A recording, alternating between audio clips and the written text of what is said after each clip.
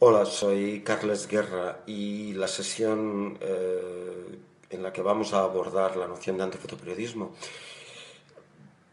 vamos a intentar, eh, lo que vamos a hacer, vamos a intentar eh,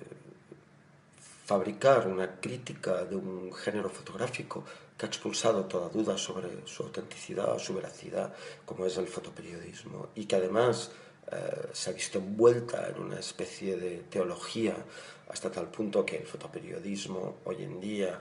lejos de comprobarse, lo único que hacemos es creerlo, tomarlo como una muestra de algo que ha ocurrido en un lugar alejado del, nuestro, de aquel en el que a menudo vivimos. De modo que eh,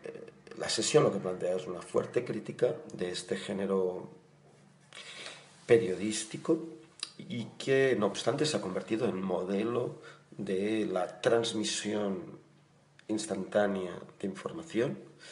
modelo de participación en una esfera pública global, que no obstante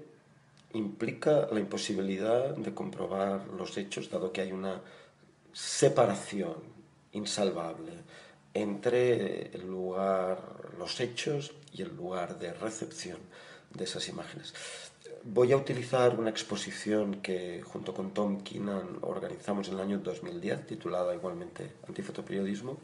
para intentar una reconstrucción de un campo en el que no solo operan fotoperiodistas críticos con su propio quehacer, sino también artistas, artistas afiliados a prácticas o estéticas documentales, de modo que el resultado no sea una mera acusación del fotoperiodismo con intenciones de, expulsarlo de ese lugar de centralidad. Nada de eso es lo que, en ningún caso esa es la intención, sino que al contrario, la idea es desenmascarar eh, ese dispositivo por el que el fotoperiodismo se ha convertido en el modelo de esa transmisión de información y intentar revelar aquellos aspectos criticables que han sido naturalizados